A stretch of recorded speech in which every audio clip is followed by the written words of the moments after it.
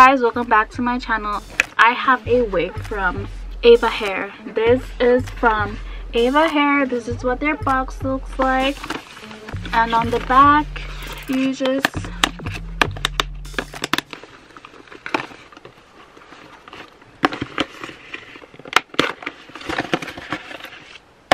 finally.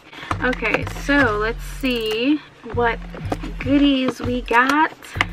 Okay this is just a pamphlet of their new arrivals how you can get a free wig their 3 by 6 lace wigs pre-plucked hairline.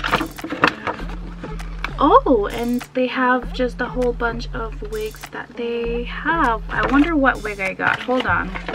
So you get an elastic band that you can add to the wig um, if you don't want to use the combs or if it's like too big you can attach this to make it fit more snug.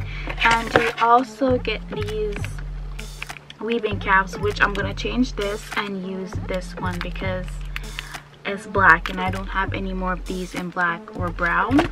But I have a feeling I have a feeling that I got this one though. Right here.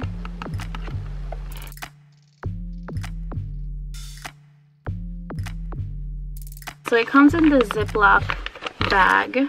This is just um, human hair wig this is what the hairline looks like. It's pre-plucked okay and the lace color is supposed to be like a brown. This is what the inside looks like. You have good amount of parting space here. No complaints at all. Alright, so I cut the excess lace off and I'm just trying to see how well it will fit on my edges and if I'll need to glue it down or not and obviously I do need to glue it down. So I use about two layers of the Got2b glue gel. I apply a thin coat, blow dry it, not too hot, not too cold, till it gets clear and tacky. Then I go in with a second coat.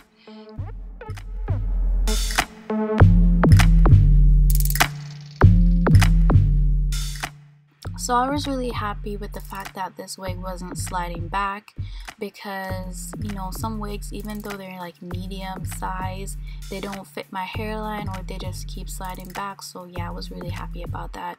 So I'm wrapping this up in a scarf so it can like be laid real flat on my hairline and after pulling it off some of the glue is gonna be like on the scarf and it's gonna leave like some white residue so you do need to get rid of that. And as you can see it's laid sis by my reaction or the expression on my face. So right now I'm just trying to lay down the baby hairs. I can't believe I'm saying baby hairs it's edges but it's whatever I'm using an eyebrow brush to do this because the toothbrushes aren't cutting it at all. They're too soft. So yeah, I'm also using the Got2b glue gel to do this as well. I'm also really happy with the fact that the color of this lace is like a medium brown. I'm tired of the white laces. Like we need we need colored laces. Like you can't be black and wearing a snow white lace front. Sis, no, this is beautiful. Look at that. Perfectly matches my skin tone.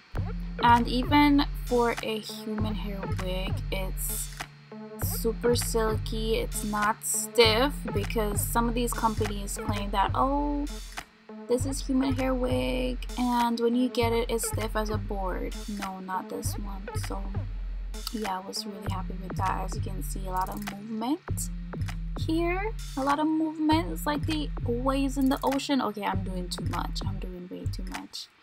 But um you can do other styles with this wig. You can put it in a cute little ponytail because it has that comb in the back. I don't know. It's not too thick. It's not too thin. This i don't know. I look like a college girl. I look like a high school girl like real cute and whatever so yeah everything you need to know about this wig will be in the description down below.